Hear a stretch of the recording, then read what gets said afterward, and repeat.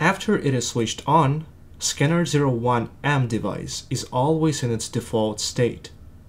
The default state means that the set frequency is 60 Hz, and the frequency modulation, the amplitude modulation, and the dose modes are switched off.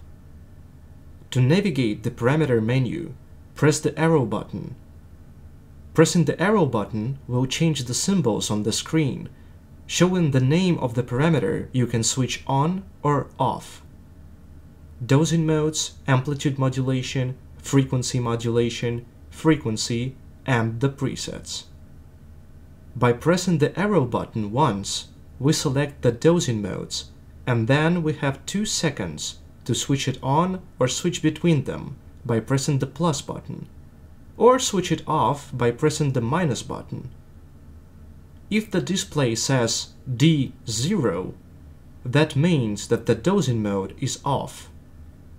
If it says D1 or D2, that means that the dose 1 or dose 2 mode is on. The next mode is 3 to 1 amplitude modulation. Again, 1 means on, 0 means off.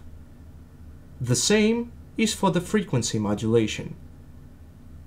The next parameter is the frequency. The default frequency is always 60 Hz. We can increase or decrease the frequency by pressing the plus or minus button. Press the plus button one time to set the higher frequency of 90 Hz and two times to set the frequency of 340 Hz, or press the minus button to set the lower frequency of 14 Hz. The last menu parameter is the presets. You can switch on the presets P1 or P2 by pressing the plus button or switch them off by pressing the minus button, just like you do with the dosing modes. There is also a fast way to switch the preset P2 on without pressing the arrow button too many times. Just press and hold the combination of the plus and the minus button.